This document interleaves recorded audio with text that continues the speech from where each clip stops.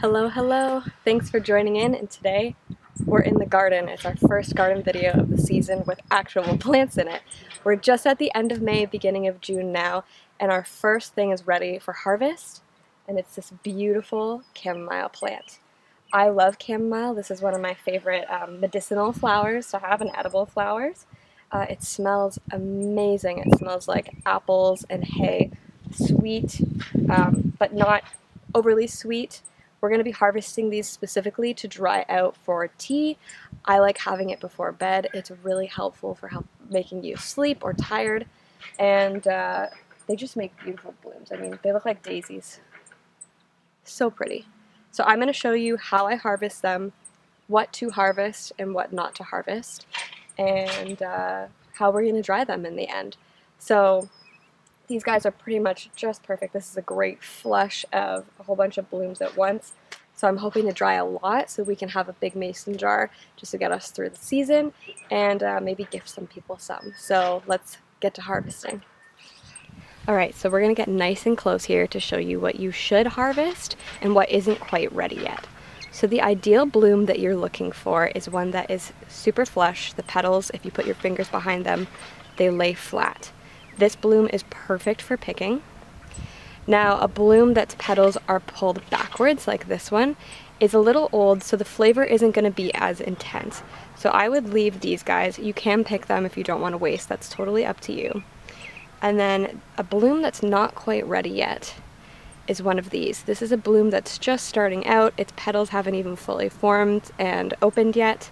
You're not going to want to pick these guys. I would wait until later and pick them in another um, batch so we've got a few of these. There's not a lot. If you accidentally get these, that's not a big deal.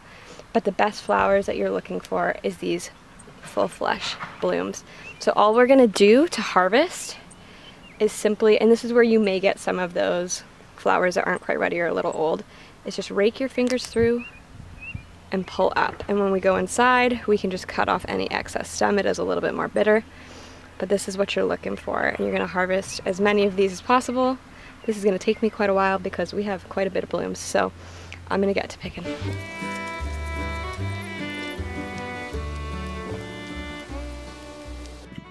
Now something else worth noting when harvesting chamomile flowers is you're going to want to do it when they're dry. So I wouldn't do it after a rain. Today is a really sweltering hot day here. We're actually in the middle of a heat wave, so I wouldn't necessarily recommend this either, but these are at the perfect point for harvesting right now, so I'm going to do it today anyways. This may put a little bit of stress on your plant and you may not get a second flush of blooms because of it. So I would recommend just on a regular summer day in the evening when the sun is going down or at the beginning of the day uh, after your dew has gone and they're nice and dry, that's when I would recommend harvesting them. And again, you're looking for that flush little flower that's perfect and these will dry out so beautifully for tea. They make such a lovely tea. So that's my tidbit.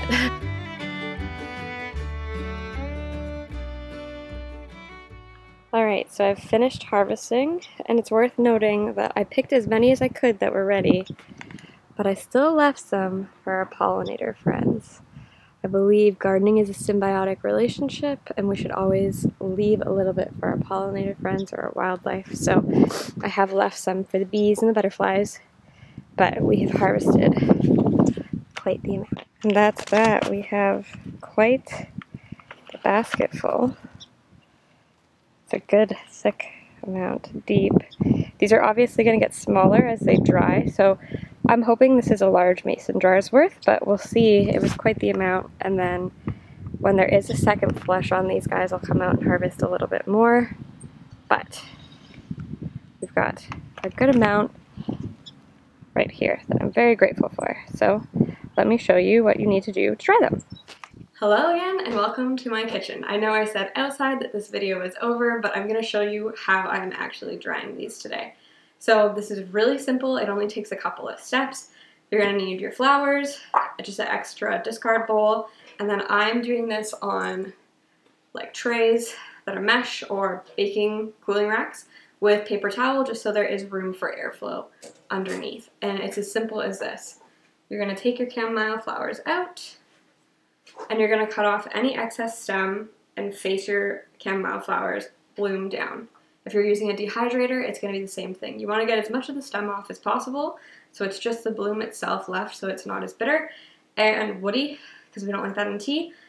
And you're going to put them blooms down and give them room around each other to breathe, especially if you're using a dehydrator. Um, I will double check what the temperature is if you are doing that and put it in the description below. But otherwise, if you're doing it the old-fashioned way with a screen or a paper towel or dishcloth like I am, you're just going to place them down and get as much of that stem off as possible. This is important for quality control, just to make sure you didn't bring any bugs in that are going to be in your tea, or dirt. Another thing some people do, and this is completely optional, is some people will rinse and wash their flowers prior. I'm not going to do that today because I know that we don't spray with pesticides here. We do have farm fields across the street, but I haven't seen them here at all this year, so I'm not really worried about any kind of residue of chemicals on these. Um, so I'm really just going to uh, filter them in terms of this is quality control, me going through each individual one, making sure there is no bugs or, or dirt or anything like sediment on them. Um, and this is an extra step that does take a little bit more time, but it's worth it because your tea is going to taste that much better. So I'm going to put these once I have them all laid out in our storage room that has no windows, and no light, and it's nice and cool because it's in the basement. And these are going to sit for a couple of days, up to maybe a week or more. It depends on the humidity level in your home and my home.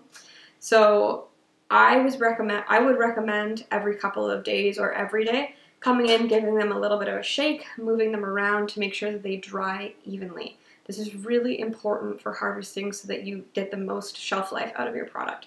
So for these guys, I'm probably going to go in every day, just give them a quick shuffle and make sure that the entire bud is not damp anymore. There's no moisture left in it. They are completely dry. If you put these in an airtight container while they still are a little wet, you're going to end up having mold. These are going to spoil and all that hard work is going to be for nothing. So make sure that they are dry. It's better safe than sorry. I would leave them out even longer if you're unsure. There's no harm in that.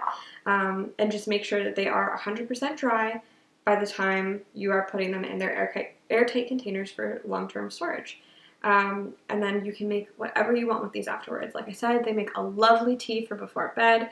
They are so beautiful for that. They really help my family in specific sleep. I find it knocks me out really hard. Um, you can save them for infusing oils, for um, lotions, lip balms, for different skin conditions. It's really great for anti-inflammatory. I would highly recommend looking up again the medicinal benefits of these. Um, it's just such a great flower all around. And I'm hoping that I will have a big jar of these. I have quite a bit in here. So this is going to take me a little while to get through and process and have these trays filled out. But I'm hoping we're going to have a really big um, harvest of them that will last us the year. And yeah, I'm really excited about it. They're just so beautiful and it's such a great medicinal herb to have in your pantry.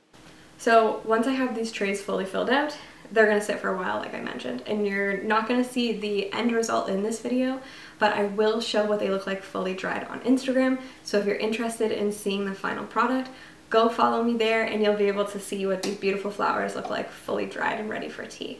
So thank you for joining me today on harvesting our chamomile flowers. Go enjoy the weather and get out there gardening. Have a great day friends. Bye.